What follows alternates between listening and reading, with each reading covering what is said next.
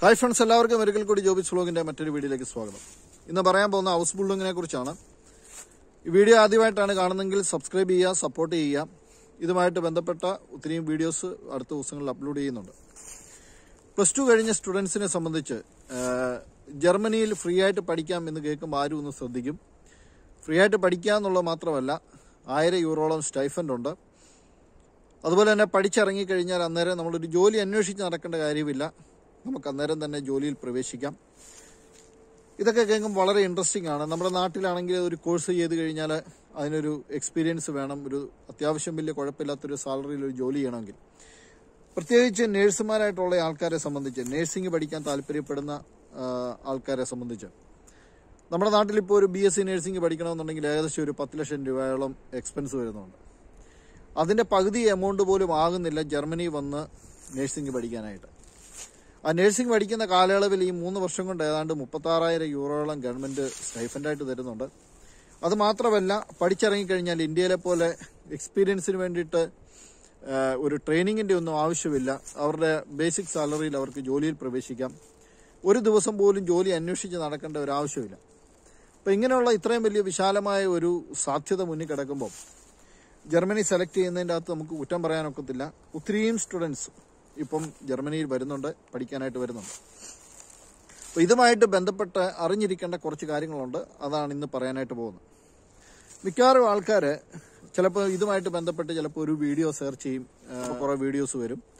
ഞങ്ങളെപ്പോലുള്ള കുറേ വ്ളോഗർമാർ ഇതുമായിട്ട് ബന്ധപ്പെട്ട് കുറച്ച് വീഡിയോസ് ചെയ്തിട്ടുണ്ട്. സ്റ്റെപ്പ് ബൈ സ്റ്റെപ്പായിട്ട് ഇങ്ങനെ ഇങ്ങനെയാണ് ചെയ്യേണ്ടത് ഇന്ന ഇന്ന കാര്യങ്ങളാണ് ക്രമീകരിക്കേണ്ടത് ചെയ്യേണ്ടത് എന്നൊക്കെ നമ്മൾ പറഞ്ഞിട്ടുണ്ട്. അത് കേൾക്കുമ്പം നിങ്ങൾക്ക് വളരെ ഈസി ആയിട്ട് നിങ്ങൾക്ക് തോന്നും വളരെ ഇൻട്രസ്റ്റിംഗ് ആയിട്ട് തോന്നും. അങ്ങനെ ഓടിച്ചെന്ന് നമ്മൾ ജർമ്മൻ ലാംഗ്വേജ് പഠിക്കാനായിട്ട് ചേരും. അപ്പോൾ ഇതിന്റെ അകത്ത് നമ്മൾ മനസ്സിലാക്കിയിരിക്കേണ്ട കുറച്ച് കാര്യങ്ങളുണ്ട്. അതാണ് ഇന്ന് നമ്മൾ സംസാരിക്കാനായിട്ട് പോകുന്നത്. നമ്മൾ ബാങ്കിൽ ലോൺ എടുക്കാനായിട്ട് ചെല്ലുന്ന പോലെയാണ്. ലോൺ എടുക്കാൻ ചെല്ലുമ്പോൾ നമ്മൾ വിചാരിക്കും നാളെ തന്നെ നമുക്ക് ഈ ലോൺ പാസ്സാവും. പിറ്റേ ദിവസം ചെന്ന് കഴിഞ്ഞാൽ പൈസ കിട്ടുമെന്നൊക്കെ നമ്മൾ ചിന്തിക്കും. പക്ഷേ അതുമായിട്ട് ബന്ധപ്പെട്ട് അതിന്റെ പ്രൊസീജിയറിലേക്ക് പോകുമ്പോൾ അത് അത്ര ഈസി ആയിട്ട് വരത്തില്ല. എന്ന് പറഞ്ഞ പോലെ തന്നെയാണ് ഈ ഹൗസ് ബിൽഡിങ്ങിന്റെ കാര്യം. ഈ ഹൗസ് ബിൽഡിങ്ങിൽ ഒരു സ്റ്റുഡന്റ് ഇവിടെ വരണമെങ്കിൽ ഏകദേശം ഒരു നാല് സെക്ഷൻ പാസ് ചെയ്താണ് ഇവർ ഈ ഹൗസ് ബിൽഡിങ്ങിന് ഇവിടെ വരേണ്ടത്. ആദ്യത്തെ കാര്യം എന്ന് പറയുന്നത് ജർമ്മൻ ലാംഗ്വേജ് സ്റ്റഡി തന്നെയാണ്. അപ്പോൾ ഈ ഇങ്ങനെയുള്ള കാര്യങ്ങൾ ഇപ്പം നമ്മൾ ഈ വീഡിയോസൊക്കെ കണ്ടു കഴിഞ്ഞ് ഓടിച്ചെന്ന് നമ്മൾ എന്ത് ചെയ്യുമെന്ന് ചോദിച്ചു കഴിഞ്ഞാൽ ഏതെങ്കിലും ഒരു ലാംഗ്വേജ് സ്കൂളിൽ പോയിട്ട് ലാംഗ്വേജ് പഠിക്കാനായിട്ട് ചേരും. അപ്പോൾ ലാംഗ്വേജ് പഠിക്കാനായിട്ട് പോകുമ്പോൾ ശ്രദ്ധിക്കേണ്ട ഏറ്റവും പ്രധാനമായ ഒരു കാര്യം എന്ന് പറയുന്നത് ആ ലാംഗ്വേജ് സ്റ്റഡി വളരെ സീരിയസ് ആയിട്ട് തന്നെ ചെയ്യണം. എന്തെങ്കിലും പഠിച്ചതുകൊണ്ട് നമുക്കൊരു പ്രയോജനവും ഇല്ല. മിക്കവാറും കാരണം എന്താണെന്ന് ചോദിച്ചു കഴിഞ്ഞാൽ ബി വൺ ലെവലിൽ വരുന്ന ഒരാളെ സംബന്ധിച്ച് അഡ്മിഷനുമായിട്ട് ബന്ധപ്പെട്ട ഏകദേശം ഒരു ഫോർട്ടി മിനിറ്റ്സ് ഇന്റർവ്യൂ അറ്റൻഡ് ചെയ്തിട്ടായിട്ട് വരും. അപ്പോൾ ആ ഇന്റർവ്യൂവിന് ശേഷമാണ് നമുക്ക് അഡ്മിഷൻ കിട്ടുന്നത്.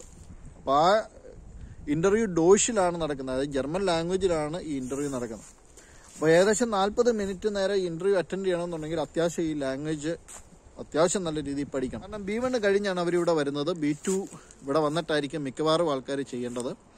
കാരണം മിക്കവാറും ഇൻസ്റ്റിറ്റ്യൂട്ട് ഇപ്പം നമ്മളിത് ചെയ്യുന്നതുകൊണ്ടാണ് അറിയുന്നത്. നമ്മൾ ഈ പ്രോഗ്രാം ചെയ്യുന്നതുകൊണ്ടാണ് നമുക്കിത് ഇത്രയും ഡീറ്റെയിൽഡായിട്ട് പറയാൻ പറ്റുന്നത്. മിക്കവാറും ഇൻസ്റ്റിറ്റ്യൂട്ടുകൾ ബി വൺ കഴിഞ്ഞ സ്റ്റുഡൻസിനെ തന്നെയാണ് സെലക്ട് ചെയ്യാൻ അവർക്ക് താല്പര്യം. കാരണം അവരിവിടെ വന്നതിന് ശേഷം പഠിക്കുന്ന ബി ടു എന്ന് പറയുന്ന ഒരു പ്രൊഫഷണൽ ബി ടു ആണ്. അതായത് നഴ്സിംഗ് ആണെന്നുണ്ടെങ്കിൽ ആ നേഴ്സിംഗ് റിലേറ്റഡ് ആയിട്ടുള്ള വേർഡ്സ് ഒക്കെ വരുന്ന ബി ടു ആണ് അപ്പോൾ അത് കുറച്ചുകൂടെ ആ സ്റ്റഡീസിനെ ഹെൽപ്പ് ചെയ്യും. അപ്പോൾ അതുകൊണ്ട് അങ്ങനെ പഠിപ്പിക്കാനാണ് ഇൻസ്റ്റിറ്റ്യൂട്ടിനൊക്കെ താല്പര്യം. അപ്പോൾ ബി വൺ കഴിഞ്ഞിട്ടായിരിക്കും കൂടുതലും ഹൗസ് ബിൽഡിംഗ് സ്റ്റുഡൻസ് വരുന്നത്. രണ്ടാമത്തെ കാര്യം നമ്മൾ ഈ ലാംഗ്വേജ് പഠിക്കുന്ന കൂടെ തന്നെ പ്രോസസ്സിങ് ചെയ്യണം. കാരണം നമ്മൾ ഒരു ഇൻടേക്ക് പ്ലാൻ ചെയ്തിട്ടാണ് ഈ കാര്യങ്ങളെല്ലാം ക്രമീകരിക്കുന്നത്. അപ്പം ഈ ലാംഗ്വേജ് പഠിച്ചു തുടങ്ങുമ്പോൾ തന്നെ ഈ പ്രോസസ്സ് ചെയ്തില്ല ഇല്ല എന്നുണ്ടെങ്കിൽ നമ്മുടെ ടൈം വെറുതെ വേസ്റ്റ് ആവും.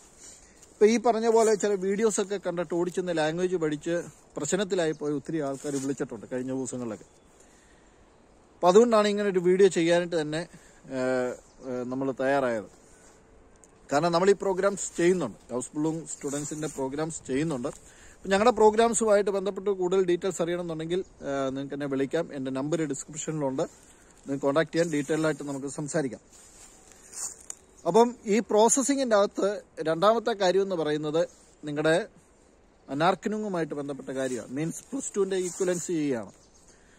അപ്പോൾ അതുമായിട്ട് ബന്ധപ്പെട്ട പ്രോസസ്സും അതുമായിട്ട് ബന്ധപ്പെട്ട് ക്രമീകരിക്കേണ്ട കുറച്ച് കാര്യങ്ങളുമുണ്ട്. അപ്പോൾ പ്രോസസ്സിങ്ങിന് വെറുതെ ഏതെങ്കിലും ഒരു സ്റ്റേറ്റിലോട്ട് അയച്ചാൽ അത് പ്രോസസ്സ് ചെയ്യണമെന്ന് നിർബന്ധമില്ല. മിക്കവാറും സ്റ്റേറ്റുകളിൽ പർപ്പസ് ഓഫ് പ്രോസസ്സിംഗ് കാണിക്കേണ്ടി വരും. അപ്പോൾ അങ്ങനെ വരുമ്പോൾ ഒരു ആർബിറ്റ് ഗേബറുടെ ലെറ്റർ ആവശ്യമാണ്. അതുമായിട്ട് ബന്ധപ്പെട്ട അതിന്റെ ഡോക്യുമെന്റ്സ് ക്രമീകരിക്കണം. ഇല്ലാന്നുണ്ടെങ്കിൽ വെറുതെ അയച്ചു കഴിഞ്ഞാൽ ചിലപ്പോൾ അത് അവിടെ ഇരിക്കത്തേ ഉള്ളൂ. കുറച്ച് കഴിയുമ്പോഴായിരിക്കും നമുക്കിത് മനസ്സിലാകുന്നത് നമ്മുടെ സമയം വെറുതെ വേസ്റ്റ് ആയി പോകും. ഇനിയും ഡയറക്റ്റ് നമ്മൾ നേരത്തെ തന്നെ പ്രോസസ്സ് ചെയ്തേക്കാം എന്ന് വിചാരിച്ച് ഡയറക്റ്റ് ഒരാൾ നേരെ ഈ പ്രോസസ്സിങ്ങിന് വേണ്ടിയിട്ട് കൊടുത്തു കഴിഞ്ഞു കഴിഞ്ഞാൽ അതത്ര പോസിബിൾ ആകുകയില്ല ലാംഗ്വേജിന്റെ ഒരു ലെവൽ പോലും ആകാത്ത ഒരാൾ ഒരു ആർബേറ്റ് ഗവറെ കണ്ടുപിടിക്കാൻ നോക്കിയാൽ പോസിബിൾ ആകത്തില്ല. കാരണം അന്നേരം അവർ ലാംഗ്വേജ് പ്രൊഫഷൻസ് ചോദിക്കും. അപ്പം ബി വൺ പാസ്സായി കഴിഞ്ഞ് നമ്മൾ ഇതിന് പോയാൽ നമ്മുടെ സമയം പോകും. അപ്പോൾ ഇതൊക്കെയാണ് ഇതിന്റെ അകത്ത് വരുന്ന ഏറ്റവും വലിയൊരു പ്രോബ്ലം ഇനി അഡ്മിഷൻ കഴി ഈ സോറി ഇനിയും പ്രോസസ്സിങ് കഴിഞ്ഞു കഴിഞ്ഞാൽ പിന്നെ മൂന്നാമത്തെ കാര്യം എന്ന് പറഞ്ഞാൽ അഡ്മിഷനുമായിട്ട് ബന്ധപ്പെട്ട കാര്യമാണ്. അപ്പോൾ അഡ്മിഷനുമായിട്ട് ബന്ധപ്പെട്ട് ഈ പ്രോസസ്സ് കഴിഞ്ഞ ഒരാൾ അഡ്മിഷനുമായിട്ട് ബന്ധപ്പെട്ട് ചെന്ന് കഴിഞ്ഞാൽ ചിലപ്പോൾ അഡ്മിഷൻ കൊടുത്തെന്നിരിക്കാം ഇന്റർവ്യൂ ചെയ്ത് അവർക്ക് താല്പര്യമാണ്. ഡയറക്റ്റ് ചിലപ്പം നമുക്ക് അഡ്മിഷൻ കിട്ടിയെന്നിരിക്കാം. പക്ഷേ എല്ലാ ഇൻസ്റ്റിറ്റ്യൂട്ടുകളും അക്കോമഡേഷൻ പ്രൊവൈഡ് ചെയ്യണം നിർബന്ധമില്ല. അപ്പോൾ അക്കോമഡേഷൻ ക്രമീകരിച്ച് തരാമോ എന്ന് ചോദിച്ച് വിളിക്കുന്ന പല ആൾക്കാരുമുണ്ട്. ഇപ്പം അങ്ങനെ നമുക്കത് പോസിബിൾ അല്ല എന്നുള്ളതാണ്. കാരണം നമുക്കിപ്പം ഈ പറയുന്ന പോലെ ഏതെങ്കിലും ഒരു സൈറ്റിൽ കയറി നമ്മളൊരു അക്കോമഡേഷൻ സെർച്ച് ചെയ്ത് കഴിഞ്ഞാൽ നൂറ്റമ്പത് യൂറോയുള്ള പോസ്റ്റിന് ഇപ്പോൾ ഇന്ത്യയിൽ നിന്ന് വരുന്ന ഒരു സ്റ്റുഡന്റ് ആണെന്ന് മനസ്സിലായി കഴിഞ്ഞ് കഴിഞ്ഞാൽ അവർ ചിലപ്പം മുന്നൂറ്റമ്പത് നൂറ്റമ്പത് യൂറോയുടെ പോസ്റ്റിൽ നാനൂറ്റമ്പത് യൂറോയ്ക്ക് താമസിക്കുന്നവരെ വരെ എനിക്കറിയാം. അപ്പോൾ ഇവർ ഈ ഒരു കുറച്ച് പൈസ ഇപ്പം ഈ പറഞ്ഞ പോലെ ഈ ബി എസ് സി വരെ പഠിക്കേണ്ട ബി എസ് സി നഴ്സിംഗ് ഇപ്പം നാട്ടിൽ പഠിക്കുന്നതിന് പകുതി എമൗണ്ട് പോലും എക്സ്പെൻസ് വരുന്നില്ല. അപ്പോൾ അതിന്റെ അകത്തും വീണ്ടും ലാഭിക്കാൻ നമ്മൾ ശ്രമിക്കുമ്പം ഈ പറഞ്ഞ പോലെയാണ് ഈ അക്കോമഡേഷനുമായിട്ട് ബന്ധപ്പെട്ട് വീണ്ടും എമൗണ്ട് പോകും. ഇപ്പോൾ ഒരു വർഷം നാനൂറ്റമ്പത് നൂറ്റമ്പത് യൂറോയുടെ പോസ്റ്റ് നാനൂറ്റമ്പത് യൂറോ വെച്ച് കൊടുക്കുമ്പം ആ ലാഭം കഴിഞ്ഞു.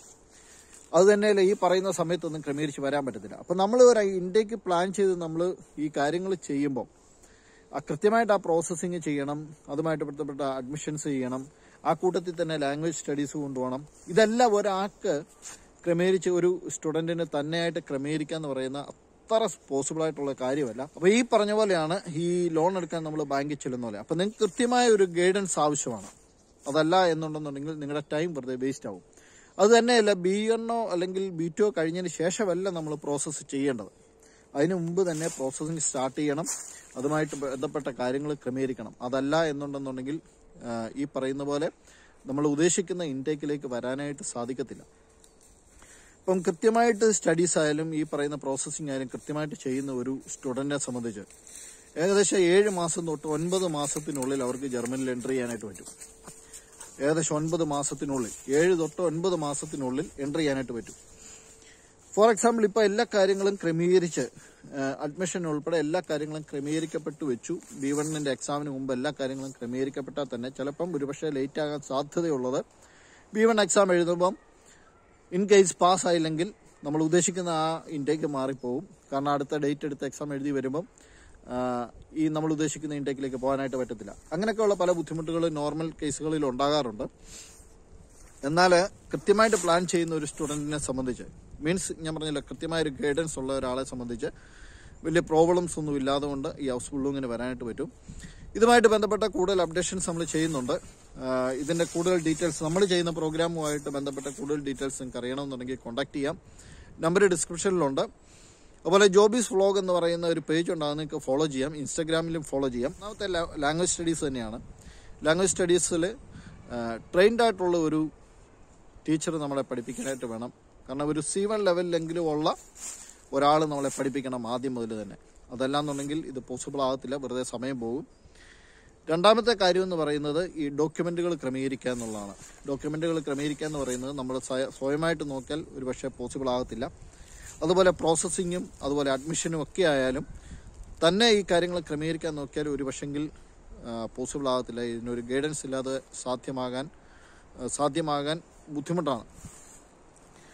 പിന്നെ ഏറ്റവും ലാസ്റ്റ് ഇനി ഇതെല്ലാം ക്രമീകരിക്കപ്പെട്ടാലും അക്കോമഡേഷനുമായിട്ട് ബന്ധപ്പെട്ട് നമ്മൾ പ്രശ്നത്തിലായി പോകും കാരണം അക്കോമഡേഷൻ ജനമന് ക്രമീകരിക്കാൻ ഇച്ചിരി ബുദ്ധിമുട്ടാണ്.